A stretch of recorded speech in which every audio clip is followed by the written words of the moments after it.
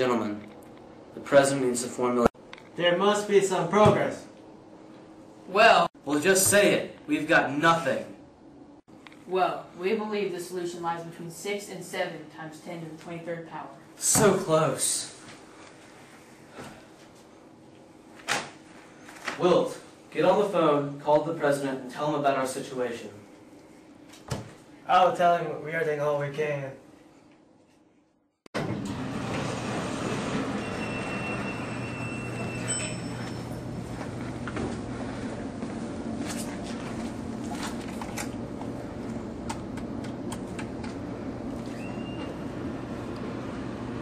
Pass me through the president.